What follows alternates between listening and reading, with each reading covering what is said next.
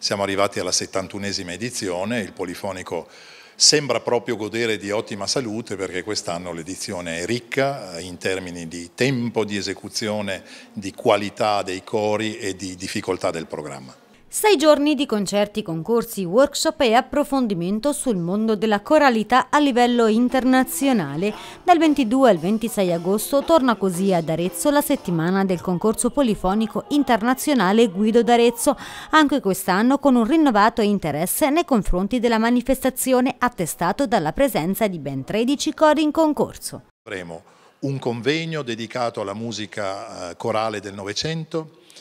un, una masterclass per la scuola per direttore di coro in cui verrà eh, a gestire tutto il lavoro il maestro Ambros Ciopi che è uno dei migliori professionisti del campo dalla Slovenia col suo coro universitario che ha appena vinto il premio come miglior coro del mondo al concorso internazionale di Hong Kong. Lo stesso coro farà la, eh, il concerto inaugurale alla chiesa di San Domenico il 23 sera.